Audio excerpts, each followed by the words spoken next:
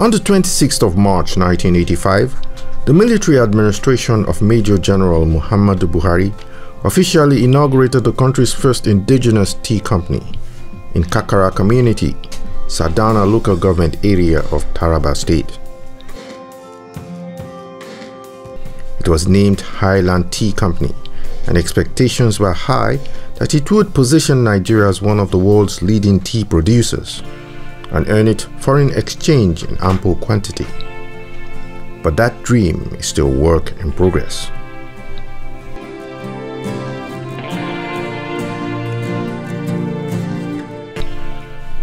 Kakara lies on the scenic Mambila Plateau, paragon of undefeated beauty and favored by many for its beautiful landscape and chilly weather.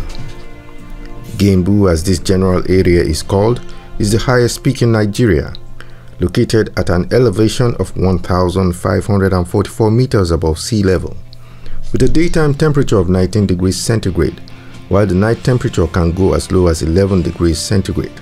Here, because of the chilly nature of the environment, residents hardly use air conditioners or refrigerators.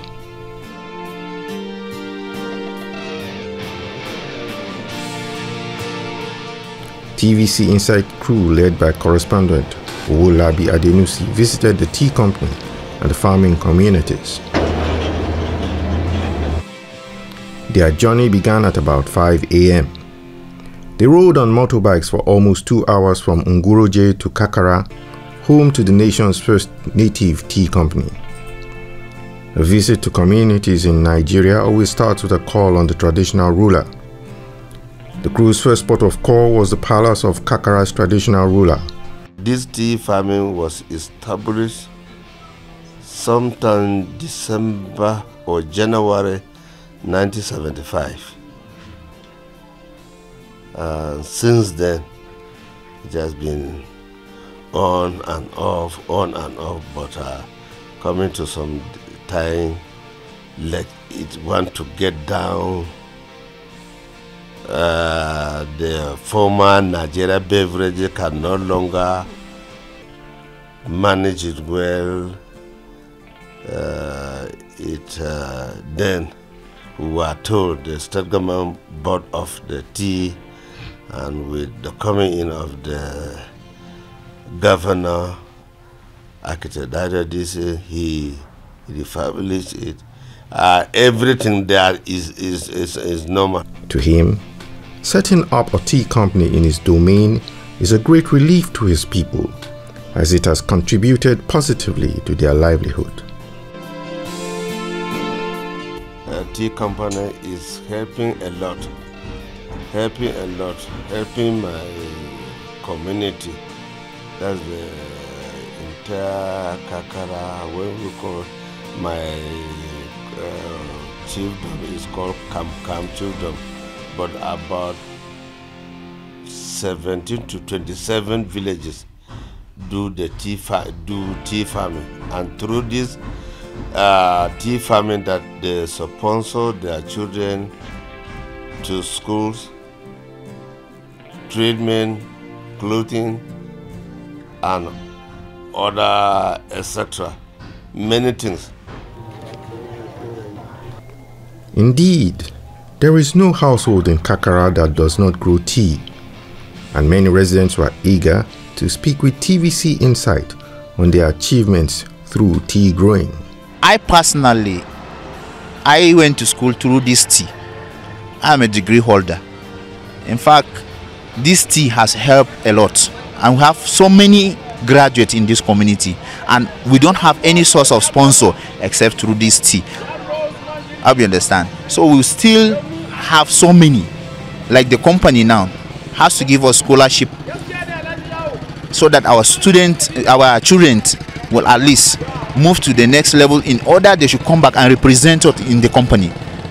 How you understand? So this is also one of the things that we have been doing and we still need the support of the government. Gare ya kafa saboda tinan da gare bai kafa ba I've been farming tea for many years and it has helped me to finance my family. shekara na talatin da takwas muna jin samu tea I started there, I can say from from from that 10 years old, that is 2002, when I was here in this community. Also achieving from this tea plucking. It's through this tea during the holiday, I always come to pluck tea. After plucking the tea, it is there I will achieve my my school fees and even the final year registration. And in 2013, that I could be able to pay it is through the tea. Through the tea, we do uh, carry our children to school and it helps us in doing many things such as domestic work at home and it, it also helps us to sponsor ourselves in going to one place to another. So actually we need the government to help us by empowering us through uh, getting us fertilizer and chemicals. That is the way we are having some challenges. If your farm is almost is around a hectare, at least that two weeks you will get no less than 200 kgs. And that 200 kgs will worth up to six to 7,000 naira. Which means in a month if you have one hectare, you have at least almost 14,000 naira. So you see that money will help you to do your work and to send your children to school. But where we are having challenges is uh, to, uh, fertilizer and chemicals. On the way to the tea company, the crew met a woman and her daughter harvesting tea. She spoke on the joy of tea farming.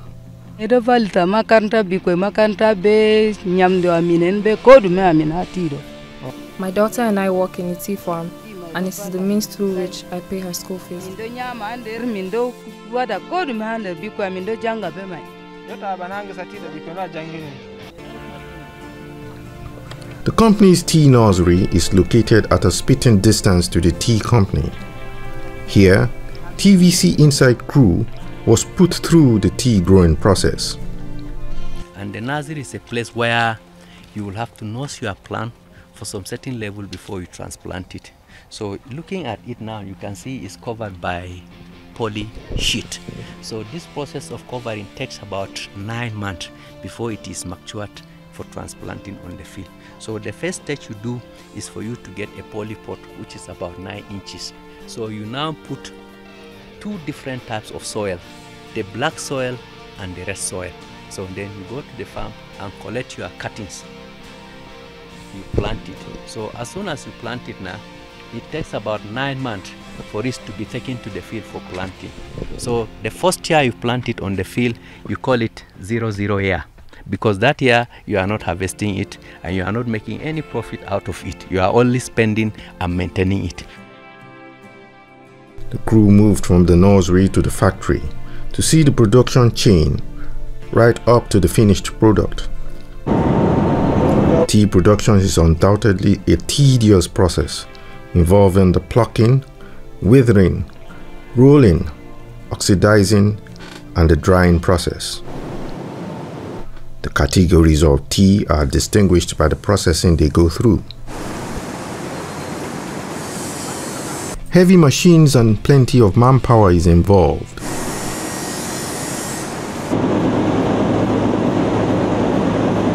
The production supervisor and other production staff speak on tea manufacturing. This is the withering troughs. As we said, when the leaf is received, it's conveyed to the withering troughs. And the essence of withering is to reduce the moisture of the leaf to a standard of 68 to 72 percent. In a black tea product, the higher the moisture of the leaf, the bad the quality.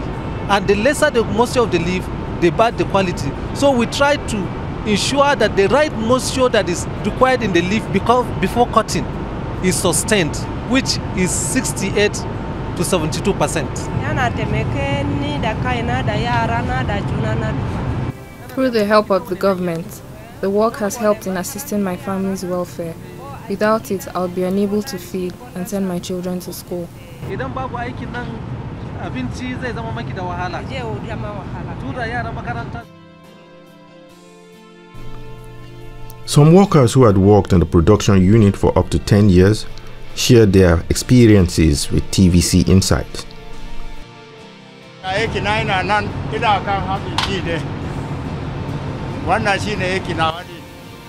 Tea farming is what I do, and I'm happy with it.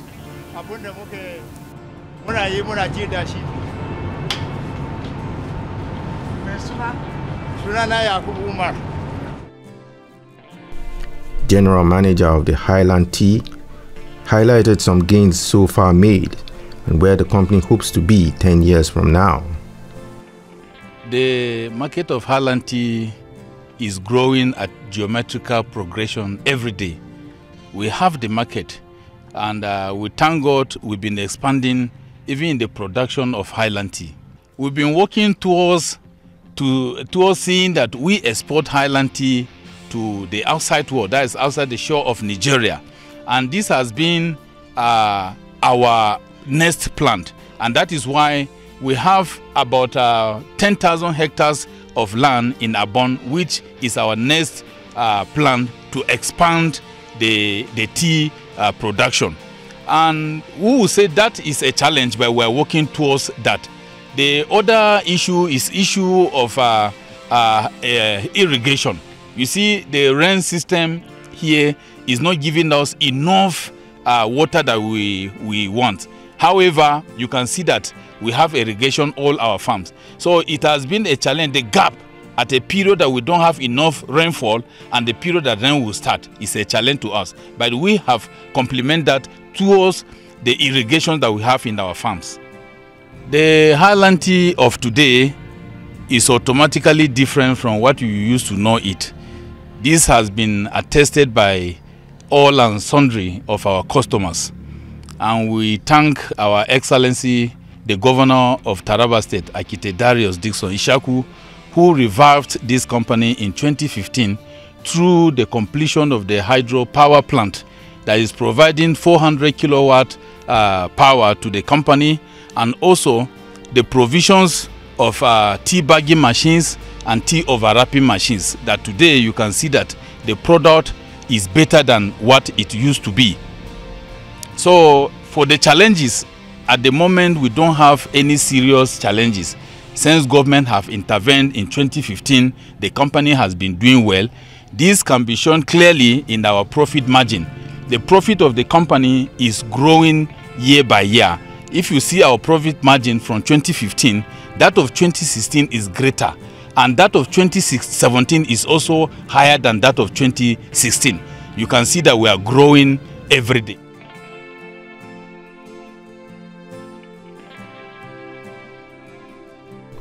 Speaker of the Taraba State House of Assembly, Abel Peter Diah, called for a review of the national tea policy.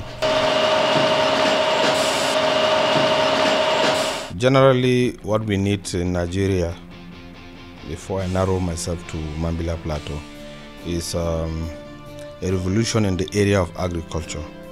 We need agricultural policy that will spell out clearly the the will give a percentage to our imports, the kind of agricultural imports we can import at a particular time, and more emphasis should be given to the local production we have here. Because if you look at the taking us back to national to the tea, we need a national tea policy in this country that will state clearly. We can give 20% beverages importation to other teas in the, in the world. But I can tell you that even if it is 100%, Mambila tea can supply the, the entire country with the, the, our requirement of tea. Because as it is now, you've been to Kakara, you can still see that they have finished products packed there in the store. And they, they, they cannot uh, they don't they can't sell it because Nigerians, you know, our mentality uh, about uh, tea is coming from abroad is different. Whereas the man from abroad is valuing our tea, you know, when when the ambassador, United uh, Nation ambassador came here, uh, United uh, States ambassador came to Kakara, you know, he, he went around and he was so impressed uh, about the, the, the, the tea factory, you know, but it's we are not giving it the maximum production because The machines you see there, the state government, uh, under the leadership of Darius Ishaku, brought in a new set of machines. So our production is like, uh, have improved like almost 80 or 70 percent. So we, we urgently need a national tea policy, and I'm urging the federal government to use this opportunity to come up with a national tea policy in this country. This place is capable of employing over 50,000 youths if the tea is used to its maximum. If that's if we maximize the the, the, machines we have there. But as it is now, uh, there is underproduction because even if they produce, where will they go and sell it? Nowhere. So there is urgent need for national tea policy in Nigeria. No, I see a lot of future for the Highland tea in Taraba State. For the first time since 1976, it declared dividend in two years. Last year, last two years they declared dividend. Last year they declared dividend. That is to say, we are going forward. So there is hope. And uh, you know that uh, the tea is not limited to only Kakara. The entire Mambila Plateau, you can grow tea. About 80% of the Mambila Plateau, you can use it to grow tea. So that is, even if there is expansion, uh, there is land for expansion, we will use more, just the way the, the EU did, and the EEC did in those days.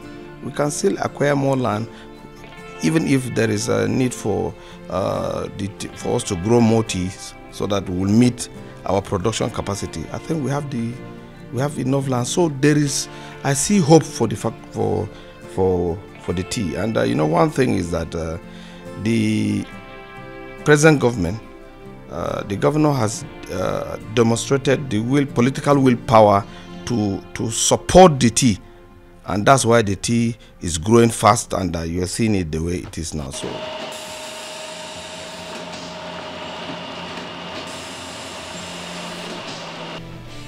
Taraba State Governor Darius Ishaku is confident that before the end of his administration, he would lead a revolution in the tea sector that will enable the country do better than Kenya, the world's leading exporter of tea. We can bring ourselves to the level of Kenya if we're serious. Uh, I have shown how serious we can be. Uh, within four years, uh, tea that was dead dead in the Mambila Plateau is now on production every day, every hour, non-stop. We have changed all the machines to brand new CTC machines. We have changed the packaging uh, machines twice. We have done everything to put tea in the market. The beauty of it all is that our tea is about one of the best here and outside. Our tea is better than the one in Kenya. Because before they ship tea from Kenya to Nigeria, it takes months. Before they ship tea from maybe India or China, it takes months. But our tea is fresh in the market. This tea I'm drinking, maybe highest is four weeks on the shelf. So the test is different. And I don't take this tea with sugar. All this I take without sugar. And I've enjoyed the test. Well, most people now are taking the tea. And so what do I do now? I'm giving the airport some as gifts. And uh, luckily, I think it's in Abuja, they have started cooking it in the reception. But we need to do a lot of work to be able to meet up with the the the requirement. We we have not meet. Uh, the, uh, we are not up to ten percent. We have not haven't met up with ten percent of the tea requirements in the country. I will pray that maybe maybe by the eighth year we should maybe get to like 30 40 percent. But that would mean an aggressive push, and that would mean having like four five of that kind of factories up the road. And that would mean having power to drive it. And that would mean having infrastructure. The road that you take now, even to the Mambila, is being built by the state government. And it's still not reimbursed. What I'm doing, we're making an aggressive nursery. Aggressive nursery. This year alone, we are going to plant between 1 to 1.5 million tree stems. And it takes about two years to do the nursery before you go and plant it, and about five years on the field. So it's not as if you just pick it like corn and plant it. But the beauty of tea, it at least takes 50 years. You will, you just be harvesting it every every time it grows. So what I'm saying, we are working hard, and uh, in another four years, we should be able to triple or quadruple our production. But then, you will need to have more tea factories to meet up with the requirement because we are 200 million people and still counting. I don't know where I, I, I read that is it by 2050 we should be like 300 and something million. So you see, our population is huge. I don't know how, what is the population of Kenya, but Kenya may be like 40, 50 million people. So you see, if, if, if uh, the quantity that may satisfy Kenya may not satisfy just one region in this country. So we need to really put in more. But the more, the biggest problem is the estates. The three estates, three estates, the, the tea estates is the problem. You need to have the tea estates. Then before you talk of the factory, before you talk of the plucking, because it will be on regular basis if you have the factory. You can't have a factory and then you are not pro producing anything. But when you have the estate, then you will be on in business. You can be producing. Still has oil. The the the main stem has oil. But then recently, recently, the MD was telling us that uh, in the some countries like Jordan and the uh, other countries, they are looking for the not this they are looking for the the main stem. You know, after producing the tea, I don't know whether you went into the factory, you will see that they they they are throwing away some of the stems and this. Is uh, the three leaves they pick. Just the three top where the chlorophyll is uh, thickest or highest. Then the stem and this is being thrown away they are buying those things because i understand it has a lot of tea content so those um, countries that take a lot of this uh, this the, those that cook this tea and are continuously taking it in this hot climate, they prefer the the um, I think it has more more caffeine content. So they prefer that. So what they were pouring away now, they are now bagging it and selling it outside the country. It's making them good money now. But Taraba's Highland Tea Company needs greater manpower to meet soaring domestic demands. A great effort has to be put in if Nigeria is to register its name among the leading producers and exporters of tea.